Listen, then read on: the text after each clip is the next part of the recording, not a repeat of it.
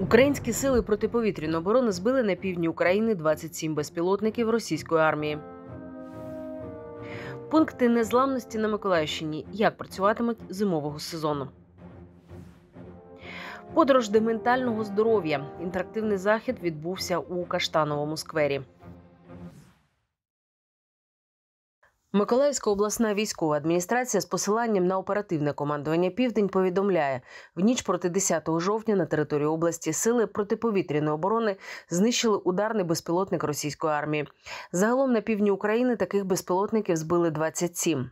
Протягом доби 9 жовтня армія Російської Федерації артилерією обстрілювала село Дмитрівка Куцурубської громади.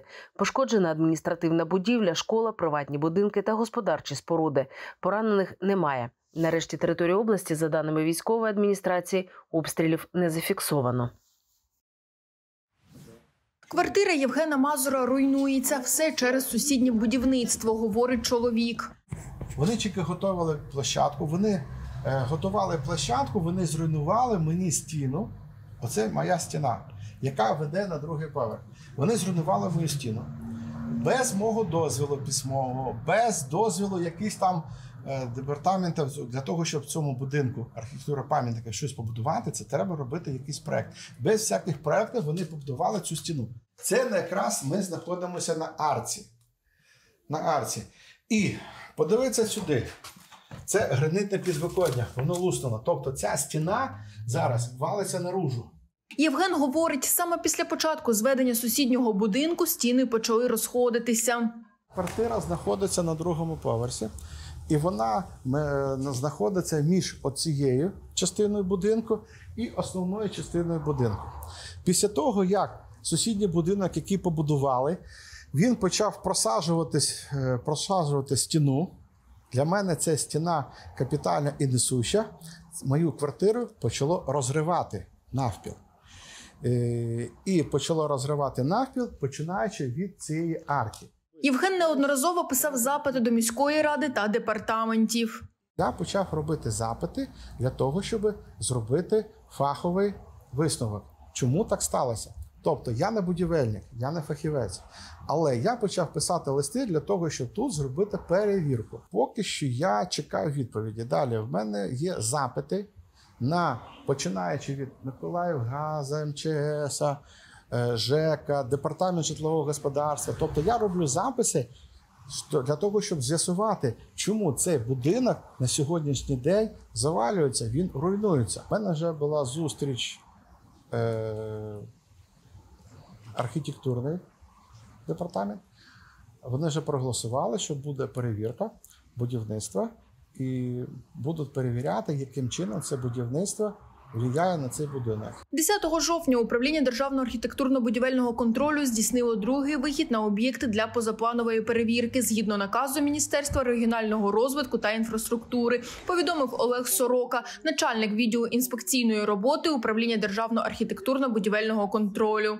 Заходи архбудконтролю проводяться у відповідності до наказу управління державного архітектурного будівельного контролю Миколаївської міської ради на підставі звернення громадянина та наказу Міністерства регіонального розвитку та інфраструктури України на 10.10.2023 рік на 14 годину е, суб'єкти містобудування е, на даний час не, не з'явилися. Е, ми здійснили заходи е, інформування через е, листи, а також на відповідному сайті управління розміщено е, інформаційне повідомлення про проведення заходів арбудконтролю. Наступна перевірка запланована на 17 жовтня, говорить Олег Сорока. Проводитиметься вона із залученням правоохоронних органів та представників місцевого самоврядування. Ми дивилися е, проєктну документацію, вимоги вимоги щодо е, проєктування. І е, в одному документі зазначено, зазначено що у, разі будова, забудова здійснюється в ареалі історичної забудови, і що є, як говориться, можливість порушувати червоні лінії. Тобто, поруш... що таке порушення червоних ліній? Тобто е, недотримання тих вимог е, взагалі державних будівельних норм, так як є. Е, Наприклад, протипожежні відстані, які треба е, е, дотримуватися відступу від существуючих так називаємо будівель, які експлуатуються. Треба отримати інформацію від головного архітектора міста. Ми зробили запит, чи затверджувався генеральний план і фасад будинку. Будівля за адресою Потьомкінська, 59 – це житловий будинок прибуткового типу другої половини 19 століття, який має статус пам'ятки архітектури місцевого значення. Про це повідомили у відділі охорони культурної спадщини Миколаївської міської ради у відповіді на журналістський запит.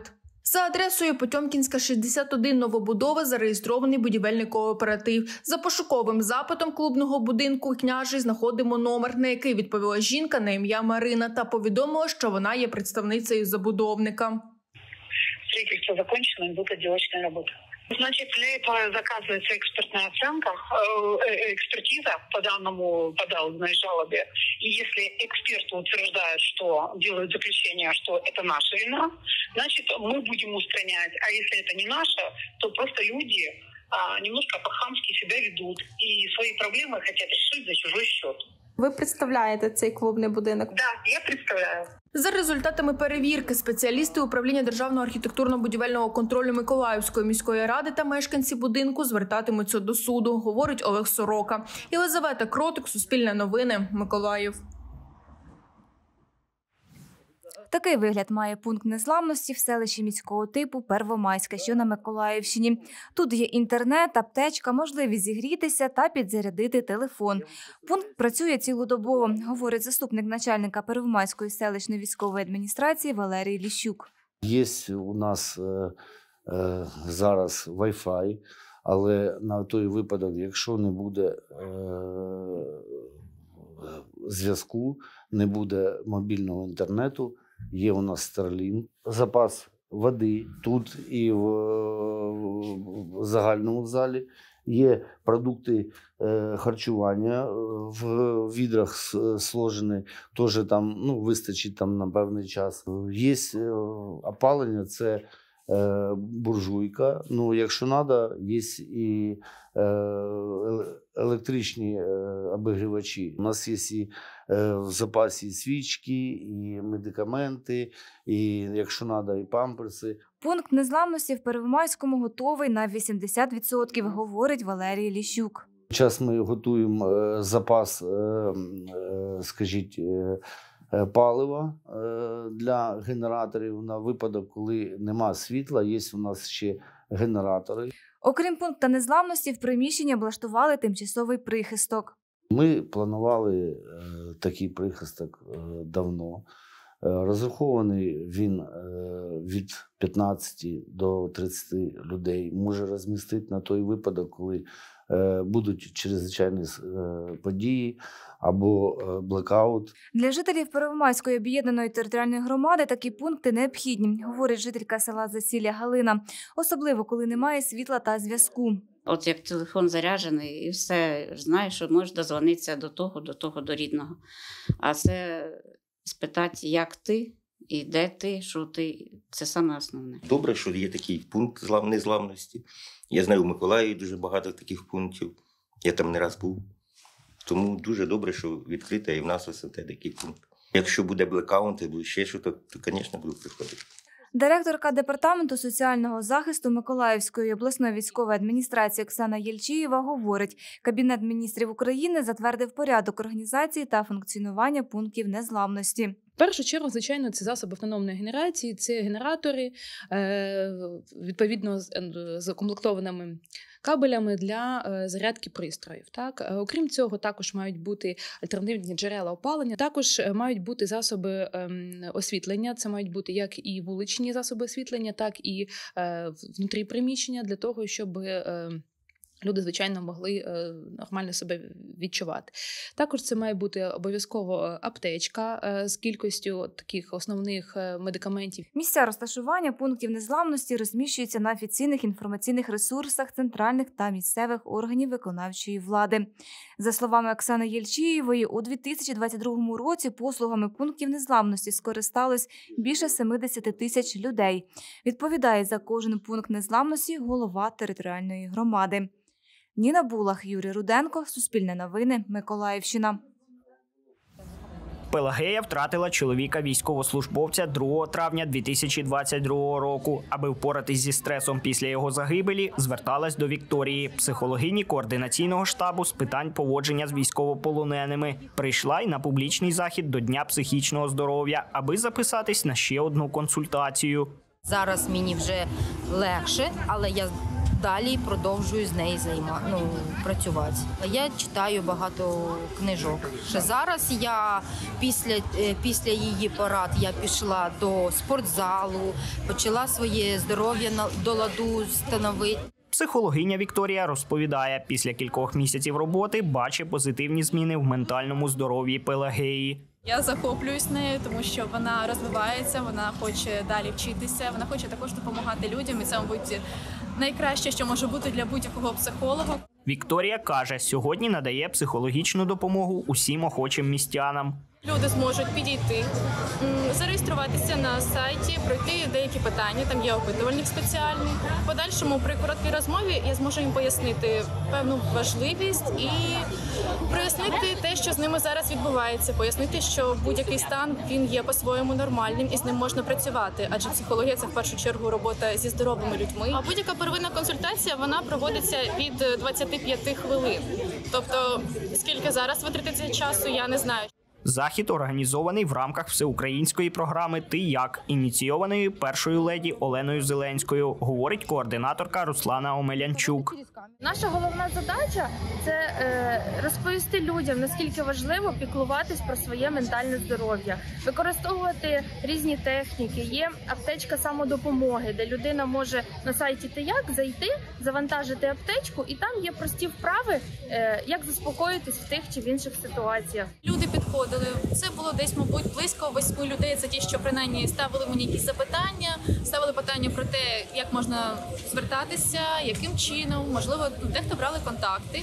Більшість з них просто брали буклети, відходили, тому що. Соромно людям часто дуже важко, особливо в публічних місцях, говорити про якісь свої проблеми, зазначати, що з них щось не так. Подібні відкриті консультації організували в різних містах України. Результати опитувань будуть відібрані для дослідження ментального здоров'я українців, розповіла Руслана Омелянчук. Назарій Рубаняк, Суспільне новини, Миколаїв.